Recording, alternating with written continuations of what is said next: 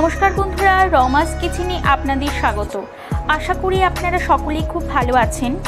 আজ আমি নিয়ে চলে এসেছি খুব জনপ্রিয় একটা রেসিপি মিনি আটা মোগলাই নিয়ে। খুব চটপট ও সামান্য ঘরোয়া উপকরণ দিয়েই করে নেওয়া যাবে এই আটা মোগলাই। আসুন দেখে নিই, এই আটা মোগলাই তৈরি করতে কী কী উপকরণ লাগছে? নিয়েছি এক কাপ আটা, দুটো ডিম পেঁয়াজ শাক কুচি, কাঁচা লঙ্কা কুচি, ধনে পাতা কুচি, রিফাইন্ড অয়েল, চাট মশলা, পেঁয়াজ কুচি, লবণ, আর লাগছে গরম মশলা গুঁড়ো। প্রথমে আমি আটার ডোটা তৈরি করে নেব। নিয়ে নিয়েছি এক কাপ আটা, সামান্য লবণ ওয়ান টেবিল চামচ রিফাইন্ড অয়েল দিয়ে ভালোভাবে মিক্স করে নেব। এবার তাতে অল্প অল্প জল দিয়ে আটাটা মেখে একটা স্মুথ ও নরম ডো করে নেব।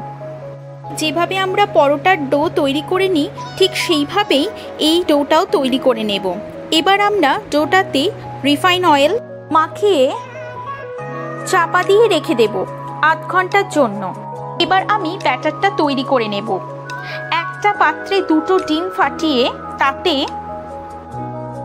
সামান্য ধনে পাতা কুচি, পেঁয়াজ কুচি, কাঁচা লঙ্কা কুচি, আন্দাজ মতো লবণ, পেঁয়াজ শাক কুচি ওয়ান স্পুন চাট মশলা ও ওয়ান স্পুন গরম মশলা গুঁড়ো দিয়ে ভালোভাবে মিক্স করে একটা ব্যাটার তৈরি করে নেব। এবার ওই ডোটা থেকে ছোট ছোট লেচি কেটে নেব। এবার রুটিটা যতটা সম্ভব পাতলা করে বেলে রুটির মাঝখানে ওই ডিমের ব্যাটারটা দিয়ে দেব। ব্যাটারটা দিয়ে দেওয়ার পর রুটির চারপাশটা ঠিক এইভাবে চেপে চেপে মুড়ে দেব। আর কড়াইতে আগে থেকে তেলটা গরম করে নিয়েছি, তাতে মোগলাইগুলো একে একে ছেড়ে দেব।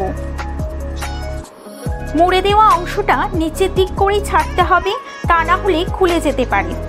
এইভাবে লো ফ্লেমে মোগলাইগুলো ভেজে তুলে নিতে হবে। হাই ফ্লেমে ভাজলে কিন্তু কাঁচা রয়ে যেতে পারে। এইভাবেই টমেটো সসের সাথে গরম গরম পরিবেশন করব। আমি এখানে মোগলাইগুলো শ্যালো ফ্রাই করেছি। আপনারা চাইলে ডিপ ফ্রাইও করতে পারেন। এই রেসিপিটা যদি আপনাদের ভালো লেগে থাকে, তাহলে অবশ্যই লাইক ও শেয়ার করবেন।